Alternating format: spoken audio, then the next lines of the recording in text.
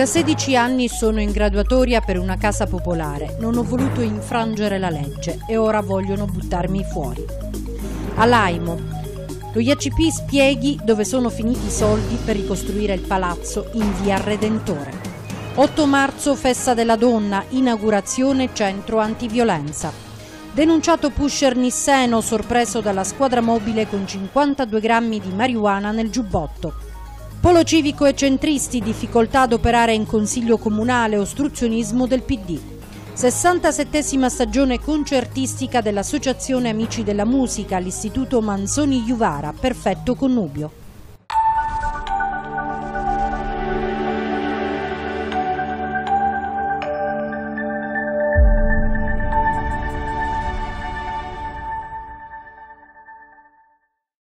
Nell'ex caserma dei Carabinieri a Santa Barbara, oltre a vivere le famiglie, gli ex proprietari del palazzo di via Redentore, vive anche la famiglia Iacona. Con noi Giusy Iacona, mamma di due figli, un terzo in arrivo.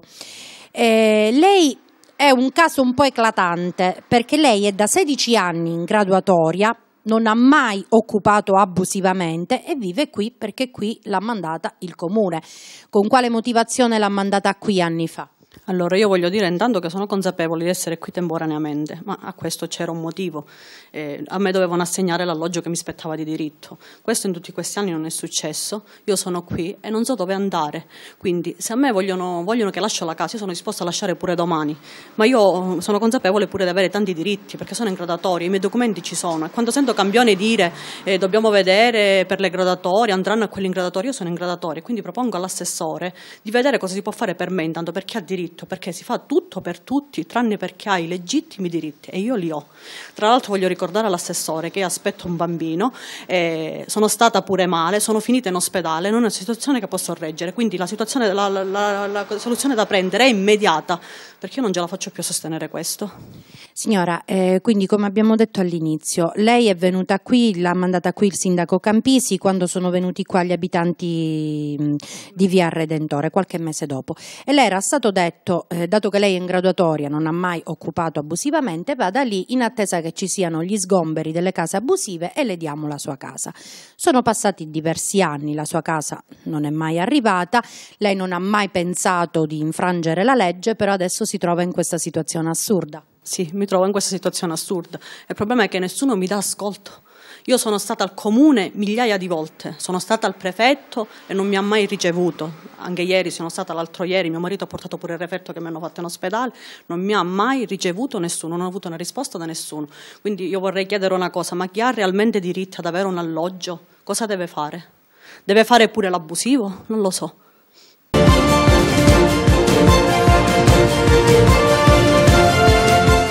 Sulla vicenda dell'ex caserma dei Carabinieri a Santa Barbara interviene anche il consigliere comunale di Astag diventerà bellissima Valeria Laimo. Intanto eh, mi preme eh, dire e ringraziare voi che avete dato risalto a questa situazione. L'ordine di sfratto ancora non è stato emesso, noi chiediamo che non venga emesso. Infatti ho già chiamato il sindaco per chiedere e concordare un incontro anche a seguito del parere dell'ufficio legale, perché io capisco che la situazione è difficile, che c'è un ente che dagli ACP che ha preso degli impegni con un atto notarile e che ad oggi non eh, è stato portato avanti. Loro aspettano aspettano da due anni di avere quanto è stato loro promesso. Sono passati sette anni sette anni, quindi diciamo che non, eh, se l'atto era stato fatto in via momentanea come è stato ribadito dal, dall'assessore Carlo Cambione ieri, diciamo che il momentaneo doveva essere uno o due annetti, il tempo della ricostruzione in via Redentore. Sette anni è un tempo molto e troppo lungo e ritengo che loro abbiano aspettato anche troppo per avere il loro diritto alla casa.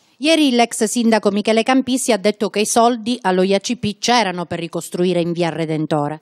Eh sì, eh, questo è un problema. Io non capisco perché lo IACP dichiari sempre di avere i fondi, ma poi non provveda mai a quelle che sono le promesse. Ha dichiarato sette anni fa di avere i soldi per demolire e ricostruire casa via, le case in via Redentore e non è stato fatto. Oggi dichiara di avere dei soldi per mettere in sicurezza un immobile che mi sembra sia, io ieri ho fatto un, un giro per gli immobili, mi sembra sia stato fatto bene, quindi non ritengo che ci sia la necessità necessità di provvedere, anche perché ricordo alla IACP, se ce ne fosse bisogno, forse attualmente non hanno fatto un giro, che ci sono degli immobili che sono totalmente fatiscenti, forse se vogliono li posso anche accompagnare. Quindi quando l'assessore Campione mi dichiara che forse serve mettere il montacarichi, io chiedo all'assessore Campione di fare un giro per quartieri popolari che sono più prossimi al nostro centro storico. Parlo di via Gibile Cosmi, parlo degli immobili in via Puccini, vogliamo ricordare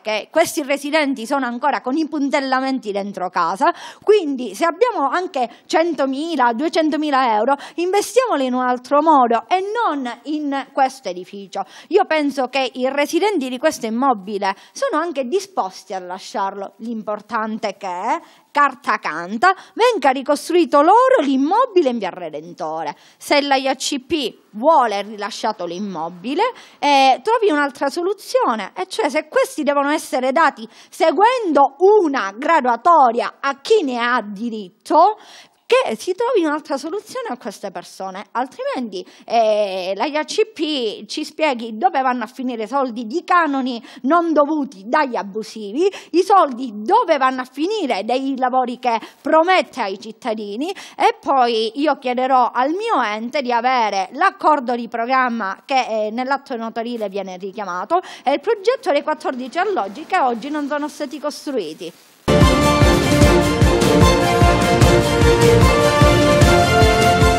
A Caltanissetta, in Viale Trieste 132, il centro antiviolenza gestito dall'Associazione Galatea. Con noi Anna Giannone. Chiunque avesse bisogno di un aiuto, qualunque donna volesse rompere il muro del silenzio e ribellarsi alle violenze subite, questo è il numero di telefono 380 19 29 687.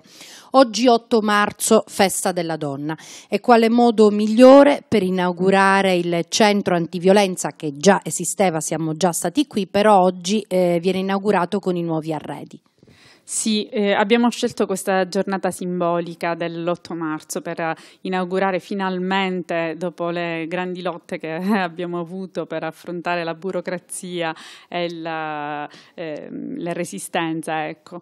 E 8 marzo eh, che vede in tutto il mondo degli scioperi promossi dai centri antiviolenza e dalle associazioni femminili per portare avanti i diritti delle donne e fare riacquistare all'8 marzo la sua viola- valenza presenza di eh, giornata di lotta e di conquista dei diritti di parità per le donne. Ultimamente si parla sempre di più della violenza sulle donne, prima magari c'è sempre stata, però prima non se ne parlava. Infatti proprio quest'anno, l'8 marzo, ha assunto una valenza diversa.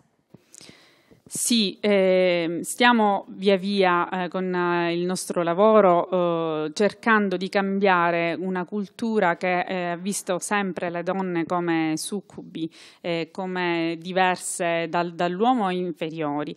E per questo motivo noi ci stiamo impegnando enormemente anche con progetti nelle scuole e ehm, insieme alle forze di polizia, alle, all'autorità giudiziaria proprio per permettere che questa strada si spiani. Parliamo adesso del centro e dei nuovi arredi, un centro molto accogliente, lo abbiamo già visitato. Sì, eh, speriamo che mh, il centro possa trasmettere la nostra accoglienza, la nostra passione per eh, le donne e i bambini, perché adesso abbiamo anche una stanza che è dedicata a loro, eh, nel, perché quando arrivano le donne sono spesso mamme e quindi i bimbi possono giocare in una, una sala attrezzata eh, adeguatamente. Ricordiamo quindi a chi possono rivolgersi le donne in difficoltà. Le donne in, difficoltà possono rivolgersi al centro antiviolenza eh, che dà loro gratuitamente dei servizi di consulenza legale, psicologica e di assistenza sociale. E, ovviamente il tutto eh, gratuitamente e eh, per far sì che le donne escano dal circuito della violenza più, ehm, in un modo personalizzato e nel modo più veloce possibile.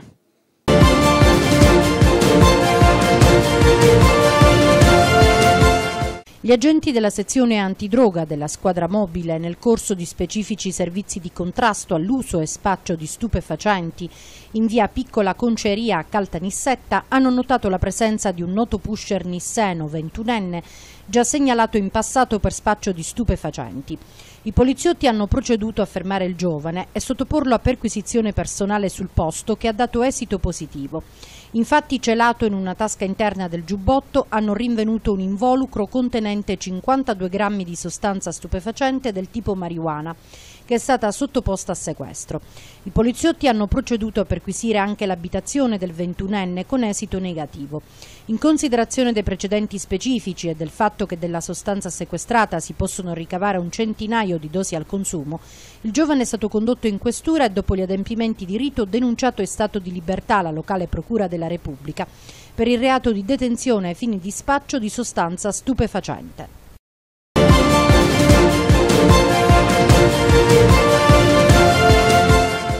Giuseppina Mannino, dirigente scolastico dell'Istituto di Istruzione Secondaria Superiore Manzoni Juvara di Caltanissetta. Sabato 11 marzo alle 18.15 parte nel suo istituto la 67 stagione concertistica Amici della Musica dedicata al maestro Giuseppe Pastorello. Qual è il connubio tra la sua scuola e l'associazione? Sì, eh, la scuola che io dirigo è anche un liceo musicale e dunque è un grande, un'opportunità veramente grande collaborare con l'associazione Amici della Musica del maestro Pastorello eh, per dare proprio l'opportunità a musicisti giovani e anche meno giovani eh, di fare musica a scuola, quindi di aprire la scuola al territorio, e far sì che molta gente eh, si avvicini e si accosti alla musica per eh, il piacere di stare insieme e di ascoltare buona musica, una musica che sicuramente coinvolge e che permette la socializzazione e che eh, riesce veramente a dare alla, alle nostre persone tanta serenità e tanta gioia.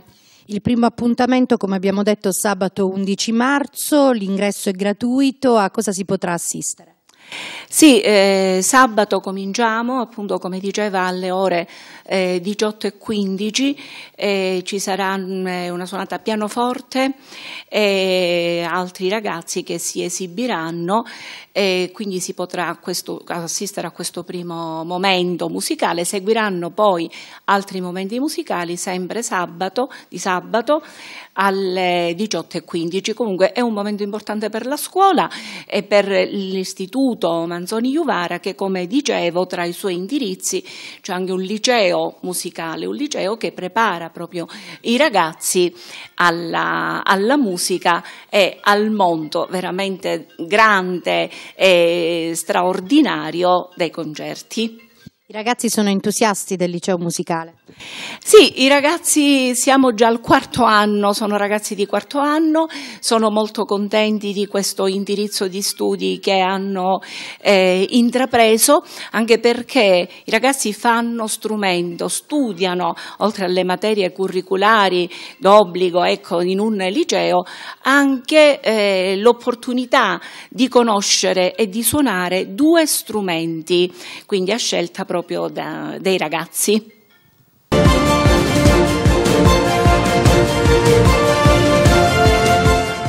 I carabinieri di Caltanissetta, guidati dal luogotenente Angelo Continuo, hanno arrestato in flagranza di reato all'interno della villa Cordova di Caltanissetta uno straniero per detenzione ai fini di spaccio di sostanze stupefacenti. I militari, a pochi giorni dall'arresto di tre stranieri, sempre all'interno della Villa Cordova, hanno continuato mirati servizi di osservazione dei movimenti all'interno della villa e nei suoi pressi, fino a cogliere intorno alle 11.30 Muse Ahmed, 35 anni, di origini somale, richiedente asilo, mentre cedeva dello stupefacente hashish ad un giovane italiano, originario di un paesino del Vallone, che verrà segnalato alla prefettura di Caltanissetta quale assuntore di sostanze stupefacenti. Immediatamente bloccato dai militari in borghese presenti nella villa, non ha opposto nessuna resistenza e sottoposto a perquisizione personale è stato trovato in possesso di altri quattro pezzi di hashish, del peso di un grammo ognuno, oltre che a denaro contante, il tutto sottoposto a sequestro. L'arrestato si trova ora ristretto presso il carcere di Caltanissetta. Quello di oggi è il quindicesimo arresto per spaccio dentro la villa Cordova operato dai carabinieri nei confronti di cittadini stranieri, prevalentemente richiedenti asilo. In altre operazioni più volte a finire nelle maglie delle forze dell'ordine anche pusher italiani.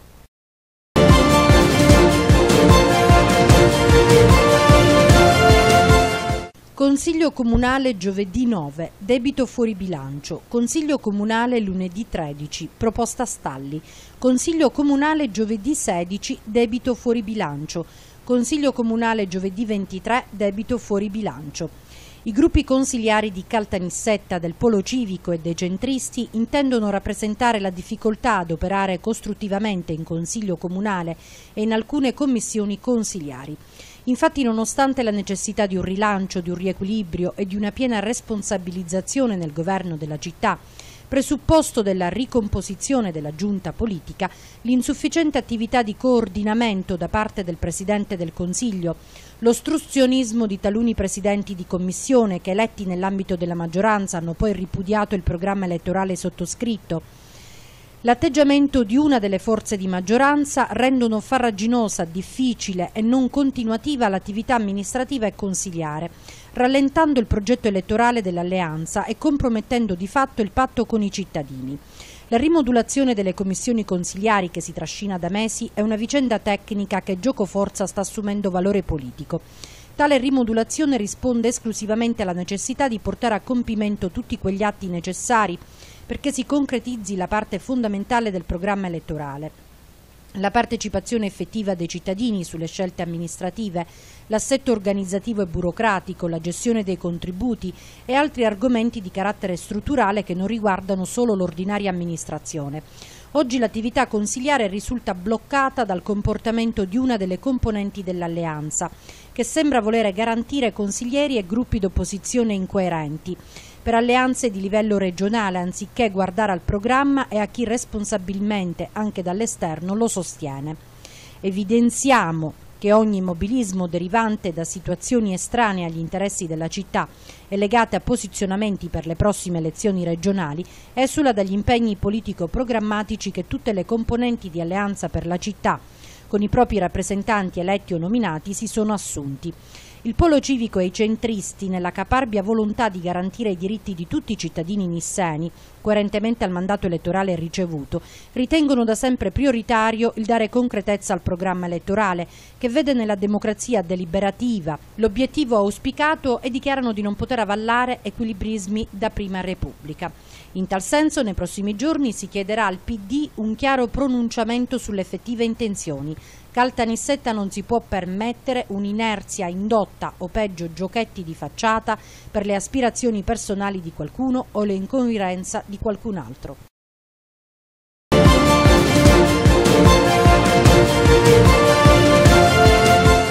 Si è riunita l'assemblea della categoria idraulici della Real Maestranza, presieduta dal presidente Angelo Palermo e dal segretario Salvatore Gambino.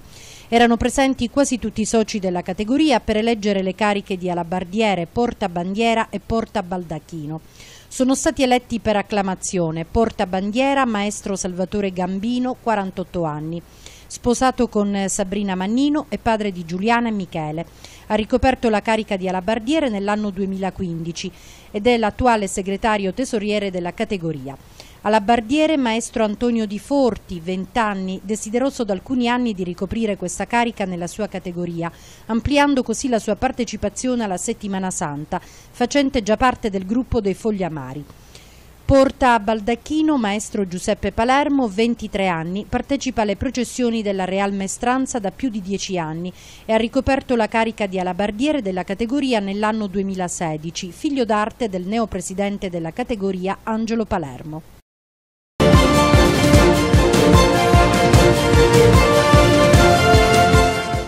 Gli agenti della Polizia di Stato del reparto Prevenzione Crimine Sicilia Occidentale di Palermo, aggregati a Caltanissetta per l'intensificazione dei servizi di controllo del territorio, a Riesi hanno proceduto al controllo di tre giovani che viaggiavano a bordo di una Fiat Panda. Il mezzo, che percorreva la via Ruggero VII, è stato fermato dai poliziotti che hanno sottoposto a perquisizione personale tre occupanti, tutti di Riesi di un'età compresa tra i 20 e i 28 anni.